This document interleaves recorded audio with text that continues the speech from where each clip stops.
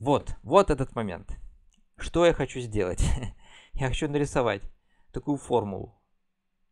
z от s, сумма столбцов, равняется сумма треугольников плюс площадь под гладкой кривой. Понятная идея? Что она скажет? Она пишет, что есть ответ. Не совсем понятно, наверное, что здесь происходит. Она говорит просто, что эта сумма сходится. Сумма площадей треугольников – сходящаяся штука. А эта формула, которая давала нормальные ответы для s больше единицы, мы ее просто продолжили для случая s равно 1 вторая. Ну, то есть я вам показал как бы одну формулу, которая верна, очевидна, доказана для s больше единицы, а потом я позволил себе в нее ставить s равно 1 вторая и говорить, ну, раньше это было равно z от s, то пусть и теперь эта штука будет называться z от s. Пусть этот ряд и расходится, но раньше эта формула давала значение этого ряда, то пусть эта штука будет обобщением этой аналитической функции от s для случая, когда s равняется 1 вторая для минус 1 второй мы все-таки получаем неприятность. Когда мы рассматриваем сумму треугольников вот этих вот, то их сумма уже не сходится к какому-то конечному числу. Математика говорит, сумма этих треугольников для функции корень из t расходится. Да, вы тут должны меня простить. У меня s э, скачет иногда. Иногда это s, иногда это минус s.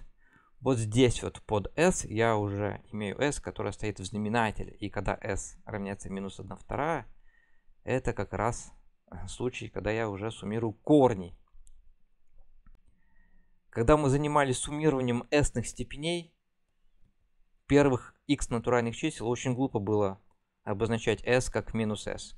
Ну, вы понимаете. Окей. Ну и, конечно же, сумма третьих степеней, когда вы берете не корень, а кубическую функцию. Конечно же, в этом случае треугольники тоже расходятся. Они вообще вот так вот выглядят там. Каждый следующий треугольник больше, чем предыдущий. И, конечно же, их сумма расходится. Еще раз, немножко другими словами хочется рассказать. Вот нас интересует эта сумма. И мы эту сумму решили посчитать таким образом. Площадь под кривой плюс сумма треугольников.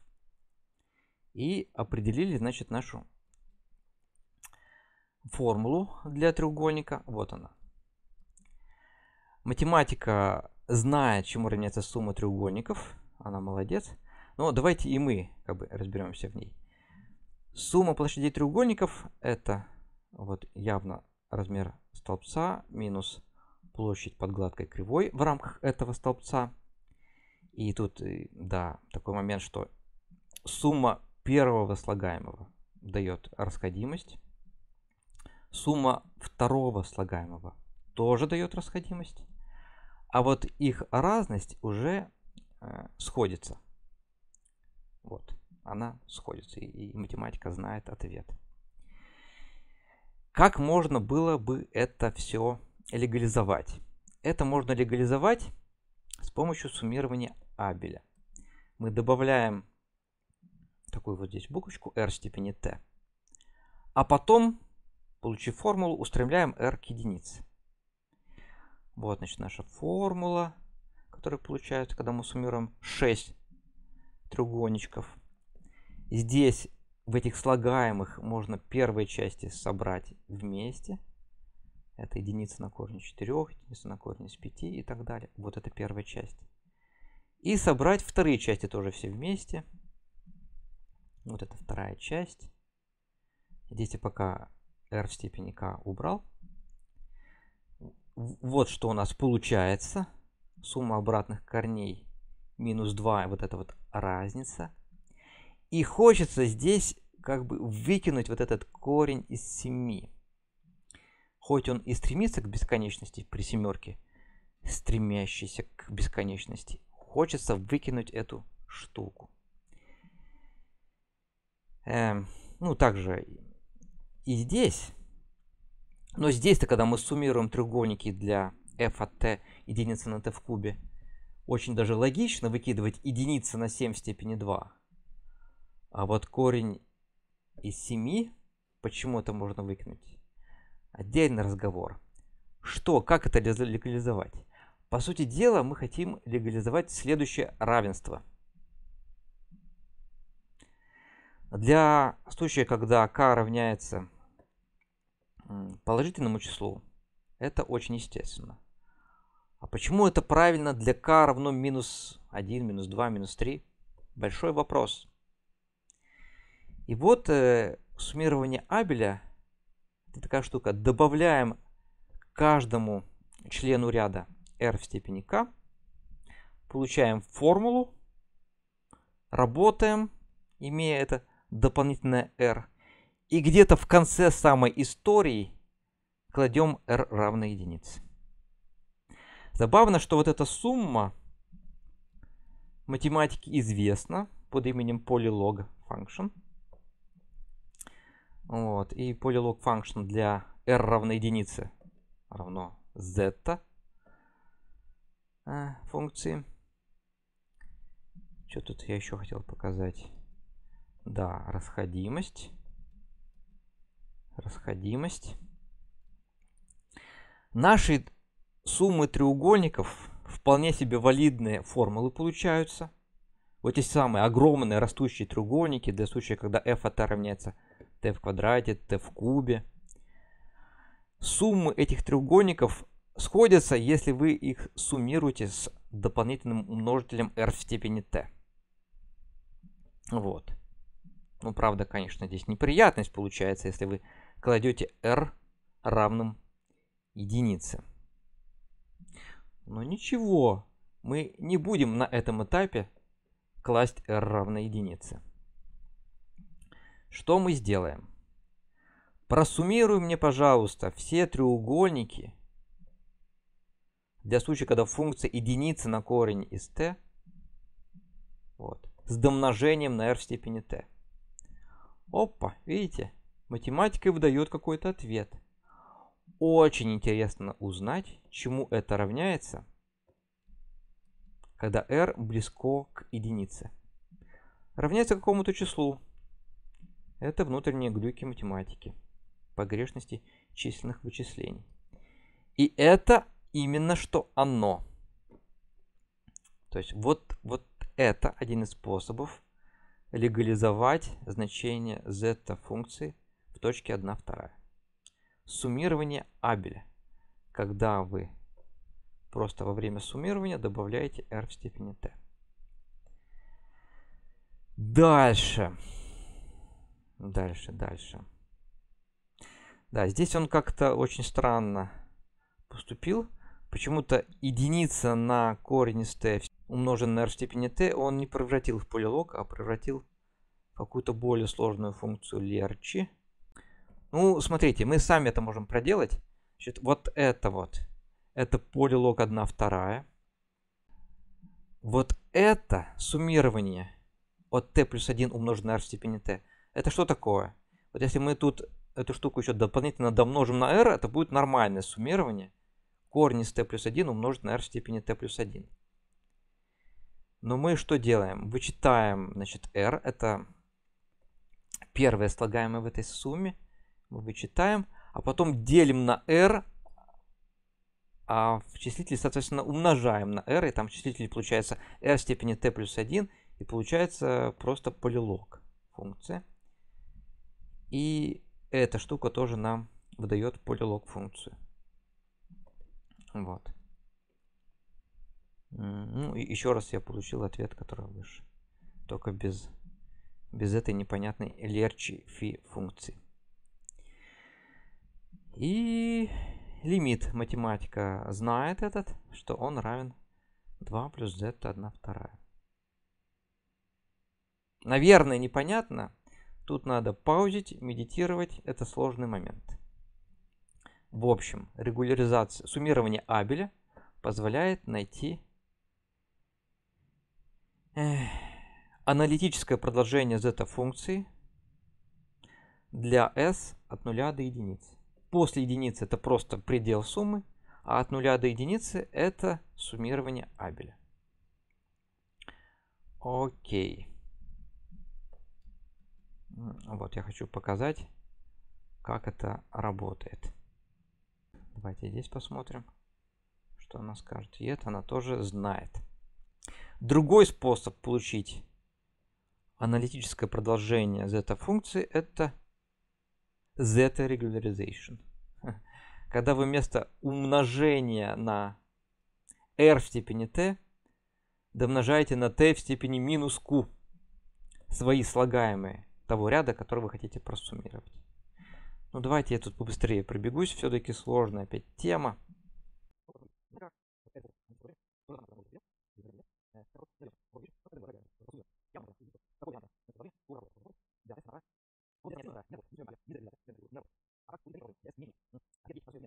Что хочется здесь довести до конца? Возьмем эту формулу. А равняется x, b равняется бесконечности. И что мы получим? Желтые треугольники, это те, которые от x до бесконечности, вот чему равняется их площадь. Производные в бесконечной точке, они все равны нулю. И это позволяет упростить эту сумму. И у нас получается, что площадь синих треугольников, это все, все треугольники, сумма которых мы посчитали. Помните? Вот мы ради этого и тратили последние 10 минут. Сумму всех треугольников мы посчитали. Вот она. Она посчитана, и тут входит некоторое значит, аналитическое продолжение функции z. А желтые треугольники будем считать по формуле. Вот что мы получаем. И здесь я записал эту сумму формулы Эллера Маклорина от минус единицы. Что получается? Синие треугольники равны по определению этому. И это равно вот этому и этому. Окей. Вот наша сумма. Вот наш интеграл. О чудо, минус 2 умножить на минус 1 сокращается с этой двойкой. И вот что получается. Да-дам! Площадь столбцов равна 2 на корень из x плюс z2 от 1 второй. Аналитическое продолжение функции z через треугольники. Минус эта штука из формулы Эллера Маклорина. И, конечно же, это выражение – сильно нам напоминает многочлен HR. Только есть вот это вот дополнение к нему, которого раньше не было. Раньше, раньше функция HR не содержала этого. Но смотрите, что тут произошло. На самом деле, если тут убрать двоечку, то вот эта штука – она просто убивает s слагаемое в этой сумме. Осознайте это.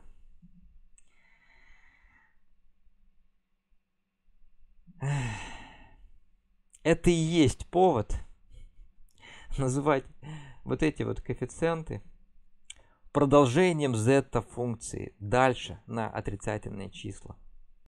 Иначе бы не было убивания последнего слагаемого s вот этим слагаемым. Иначе z2 не убивало бы последнее слагаемое для, для случая, когда s равняется 1, 2, 3, 4, 5 и так далее. Сложный момент.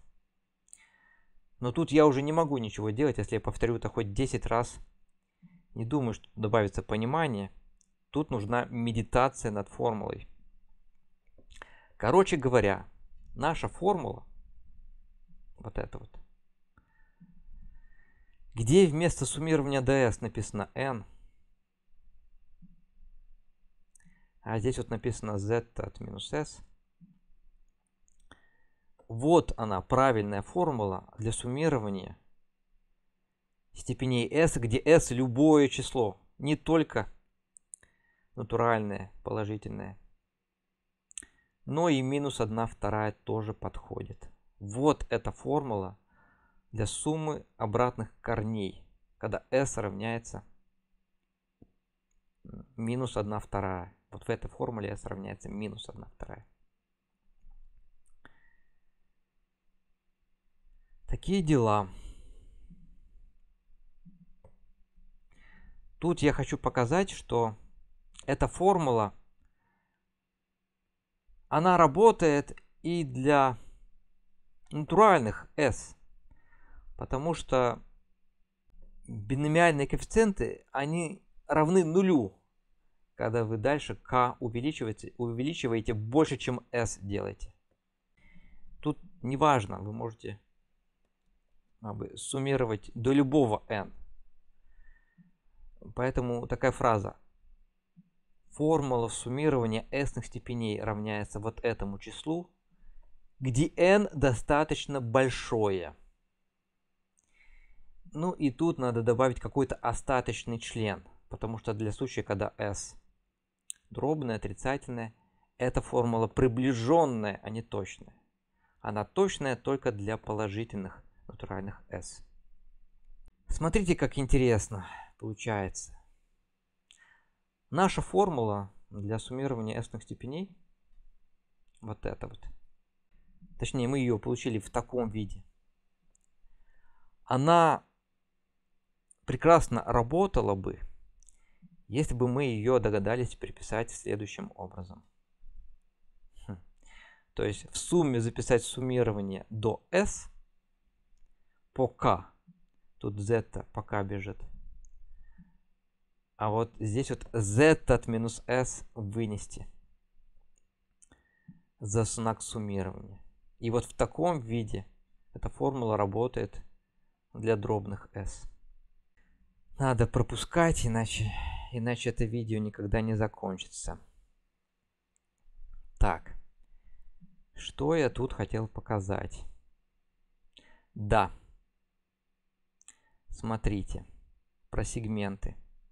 Классная штука все-таки про сегменты. Давайте мы рассмотрим площадь не треугольников, а вот таких вот сегментиков. Они очень быстро уменьшаются. И, и если вот, скажем, для треугольников, когда мы брали корень из t, сумма треугольников была бесконечна, то сумма вот таких вот сегментиков, она конечна. Они очень быстро уменьшаются.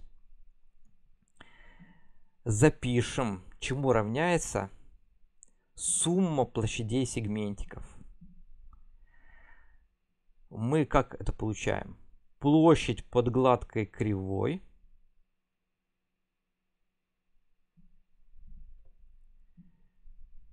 площадь трапеции. Площадь трапеции равняется ну я имею в виду вот трапецию вот эту вот. Одна сторона, вторая сторона, среднеарифметическая, двух сторон на высоту трапеции, единица. А площадь под гладкой кривой, ну это понятная штука для тех, кто знает интегралы. Посмотрим, чему равняется сумма таких сегментиков. Математика знает эту штуку.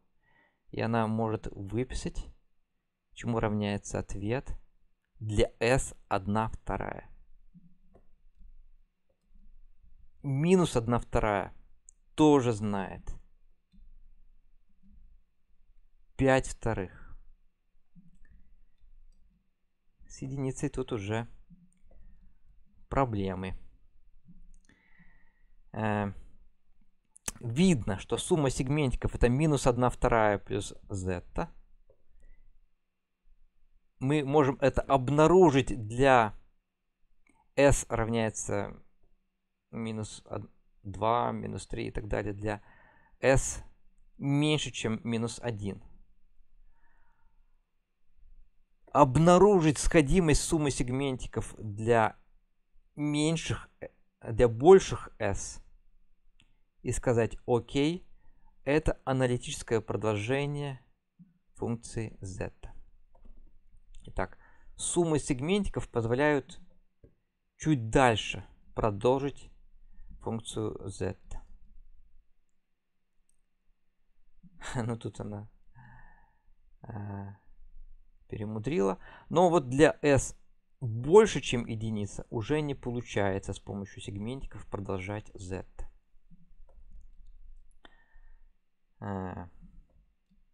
z, которая определена через сегментики, я назвал z3. И что я хочу показать, что сумма вполне себе суммируется для случая, когда s равняется минус 1 вторая. Для минус единицы проблема. Для минус 5 четвертых тоже проблема.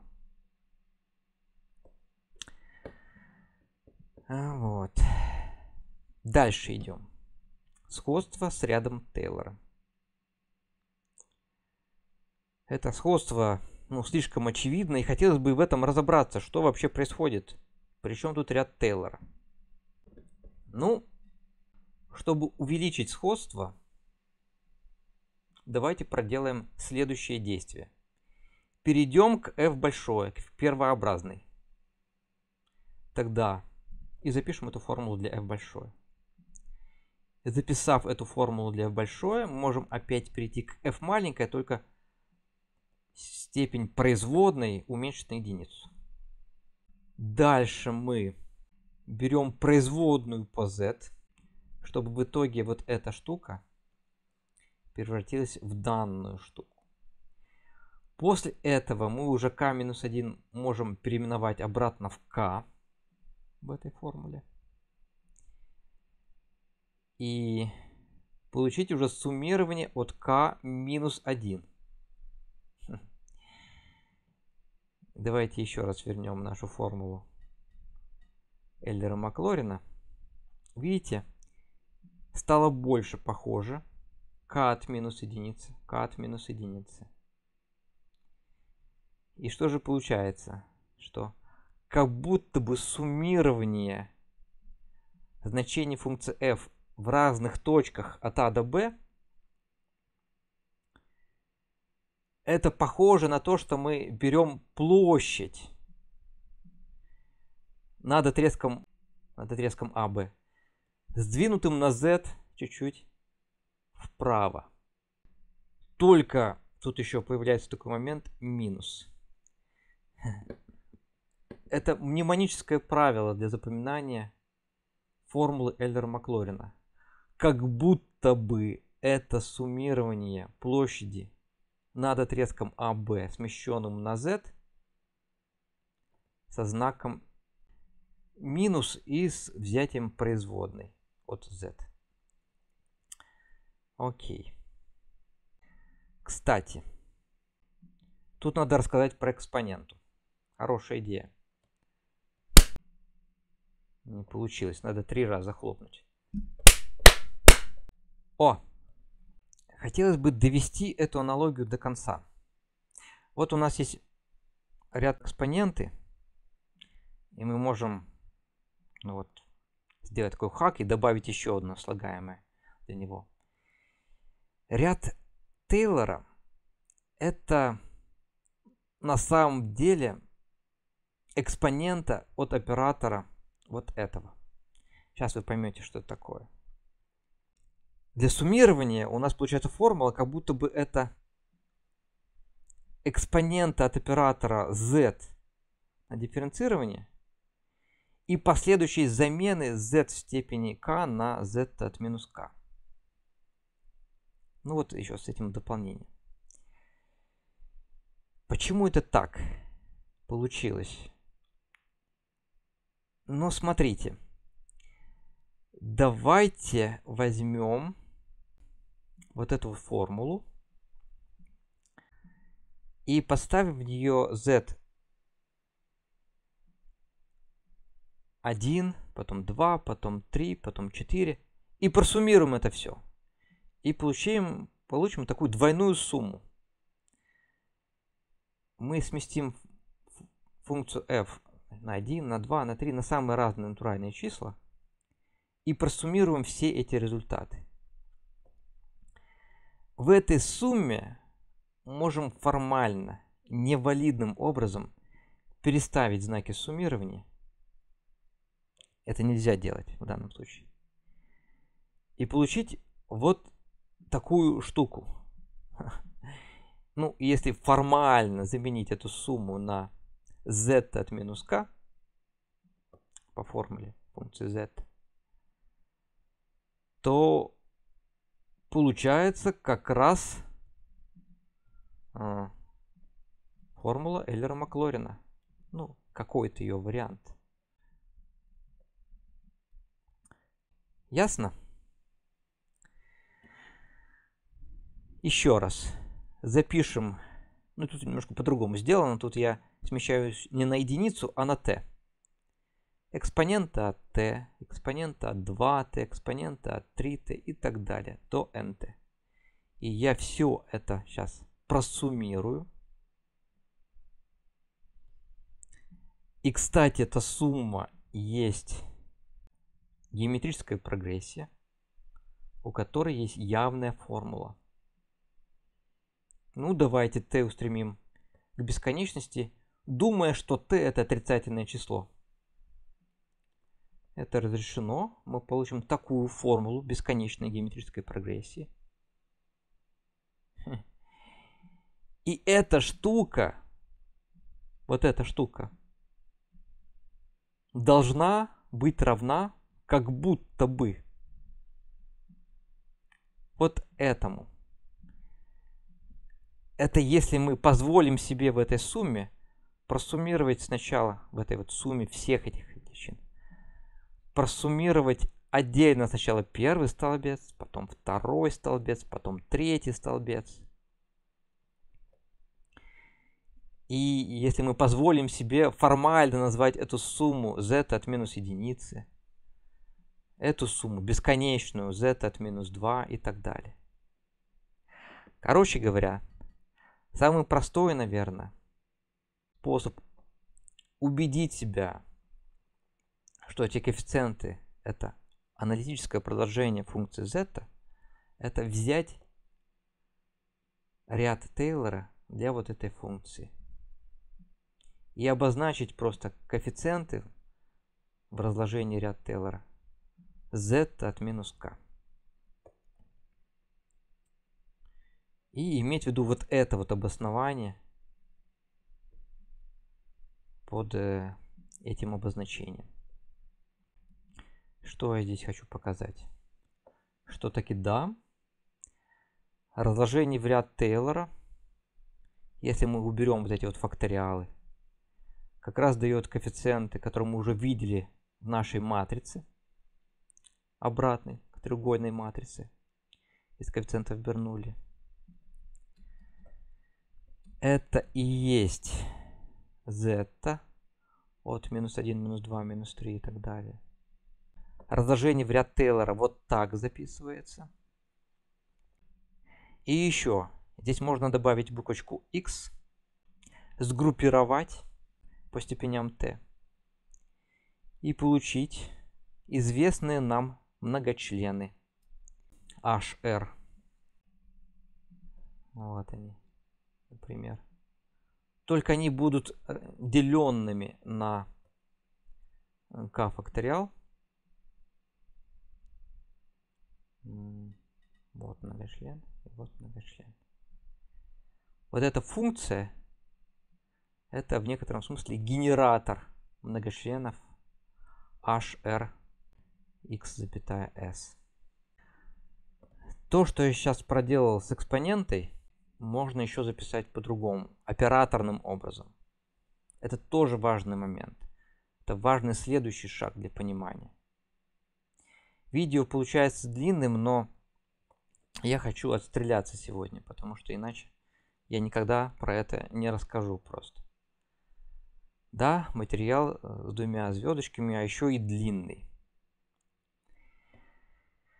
Давайте введем такую буквочку D большое. И когда мы будем ее писать перед функцией, это будет означать, что функция, которая находится справа, подверглась взятию производной. Это оператор дифференцирования. Оператор суммирования f, вот такой вот, без каких-то значков снизу и сверху, мы будем думать, что он означает следующее. Это надо взять f от x, f от x минус 1, f от x минус 2. Ну, вот так мне захотелось. Не x плюс 1, x плюс 2 и так далее, а с минусом. Разностный оператор, когда перед функцией пишется такой треугольник – это штука, которая из функции f делает функцию g, которая равняется f от x минус f от x минус 1. Из формулы Тейлора следует, что оператор это единица минус экспонента от минус оператора дифференцирования. Проверьте это сами, визуально. Также очевидно, что если мы возьмем, применим оператор разностны к вот этой вот сумме, то мы получим просто f от x. То есть такой единичный оператор. Треугольник обратен сигме. Давайте это запишем. Суммирование равняется единице на треугольник. То есть единица разделить на единица минус e в степени минус d. То есть вот такая штука. Но эта функция имеет ряд Тейлора следующий. И, и таким образом мы получаем вот из этой записи формулу Эльвера Маклорина. Ну, только надо бесконечность заменить на n.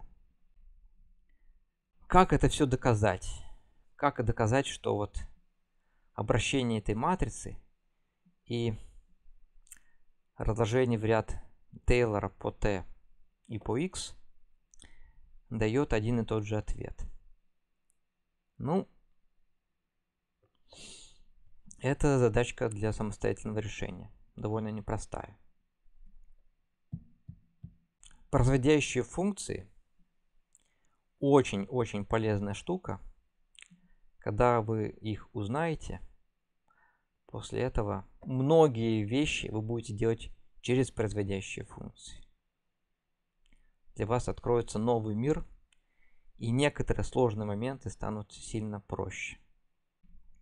Вот эта формула, на самом деле мы могли бы ее просто взять и применить для дробных s просто взять и применить. Мы же на прошлом видео научились вычислять факториалы для дробных чисел. Поэтому мы можем эту формулу взять и применить для дробных значений s. И это будет хорошая формула для приближения суммы корней или суммы обратных корней. Вот, вот что я хотел здесь сказать. Э, углубляться особенно не буду. Ну, вот, посмотрите, что получается. Э,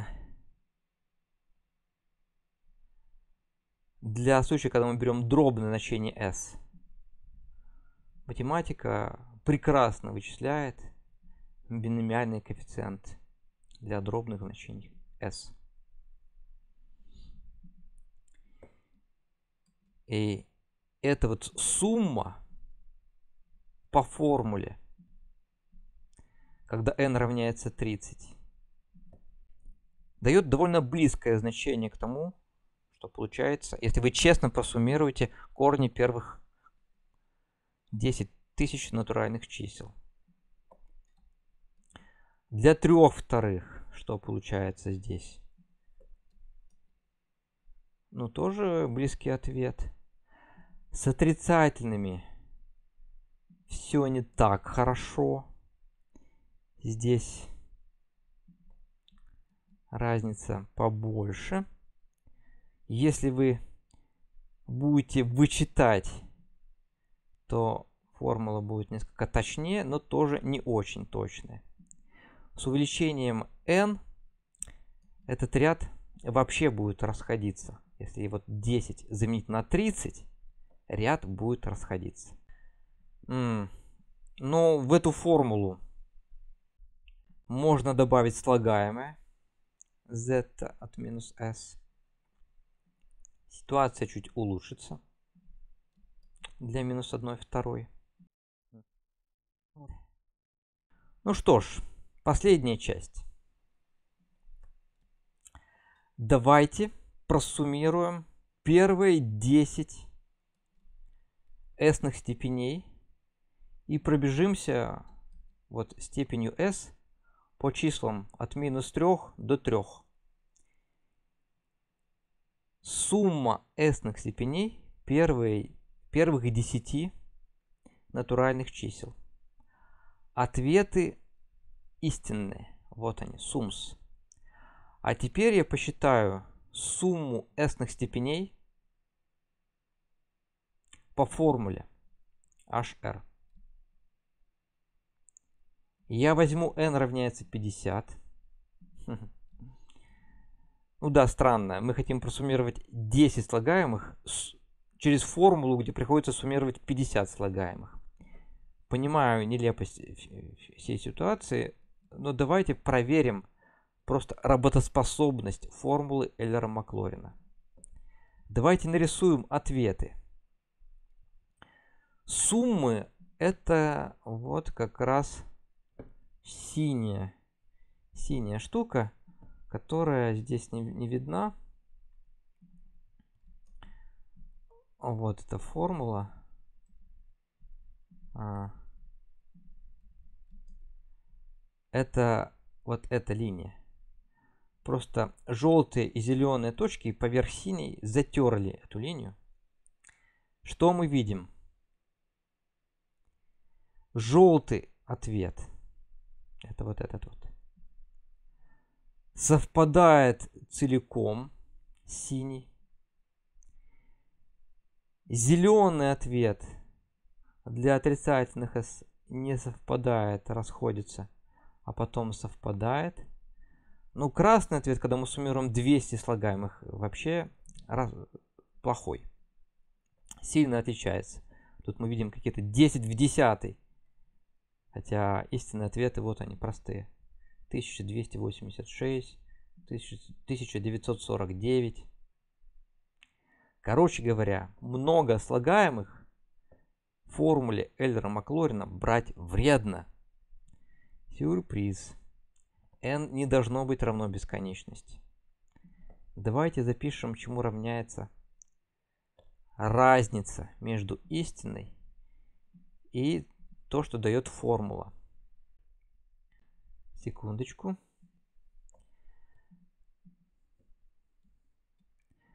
Давайте посмотрим, чему равняется разница истинного значения суммы и приближение. Видно, что приближение 10, 50, 150, они все дают примерно ну, они дают хорошую точность. 10 в минус 10. Вот, в районе в этом они дают примерно 10 в минус 14 при суммировании 10. Когда мы суммируем первые 30 натуральных чисел, вот, они, они тут вообще все примерно одинаковые получаются. А, 12. Вот. Если мы суммируем много, то вообще нету разницы между тем, сколько слагаемых по формуле суммировать. Мы говорим, что в исходной сумме у нас n слагаемых, а в приближенной сумме можно брать 10, 50, 150. Это не так важно. Вот. И если у нас n маленькая, тем быстрее наступают неприятности с ростом вот этого числа. Так, итога, конец. Давайте добьем наконец-то наше сегодняшнее видео. Первый takeaway. Явная формула многочленов Бернули. Вот так она выглядит. А, точнее, вот формула многочленов Бернули, а вот формула многочленов HR. Многочлены Бернули – это частный случай формулы Эйлера-Маклорина. Минимальной доработкой из формулы многочленов можно получить формулу для суммирования нецелых степеней первых n натуральных чисел. Дальше. Полезно во время исследований позволять себе делать какие-то невалидные замены, чтобы увидеть структуру уравнения. Именно так мы пришли с помощью этих хитрых замен к операторному равенству. Дальше. Я вам рассказал про формулу Эллера Маклорина довольно специфическим образом. На самом деле, более естественный и правильный способ получить эту формулу описан вот в этом видео. Посмотрите его обязательно. Я не стал рассказывать тот метод, который использовался в этом видео специально. Надеюсь, что вы посмотрите его здесь. То, что мы с вами проделали, в принципе, очень естественная штука. Вот получили мы какую-то формулу для натуральных s. Ну почему бы ее не попробовать для дробных и для отрицательных? Грех не попробовать. И из этой идеи было получено очень много. Из этой идеи всплывает аналитическое продолжение функции z от s. Хитрые значения z, минус 1, минус 2, минус 3 попадались нам в предыдущих видео. Не просто так. Дело в том, что там в предыдущих видео везде была скрыта формула Эйлера Маклорина. И когда мы искали приближение синуса через сумму полюсов или через произведение корней, там везде скрыта формула Эйлера Маклоина. Операторы. Можно использовать не числа, а операторы и подставлять их внутрь экспоненты. Такой вот шок-контент. Ну и саму формулу Эллера Маклорина надо взять с собой.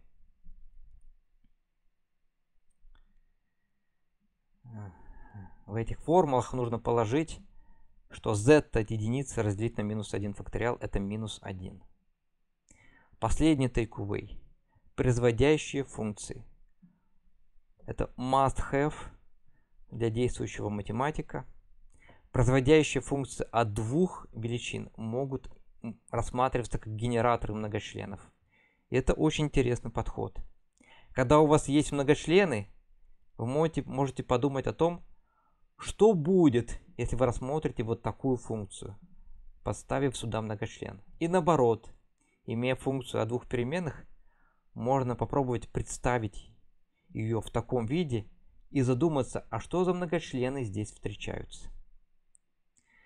На сегодня все. Надеюсь, вы не замучились, что ваш мозг не поломался от всяких хаков. Всем удачи, пока!